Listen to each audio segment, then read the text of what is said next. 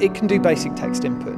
It can also do touch and gesture control, so you can swipe and pinch and zoom and use uh, much more complex gestures. And finally, it could even be used with a, a stylus type pen for handwriting recognition or for drawing and sketching. It's inkjet printed um, and can therefore be rapidly created in multiple different formats which can be adapted to fit the multiple different shapes and sizes of tablets and smartphones that are available today.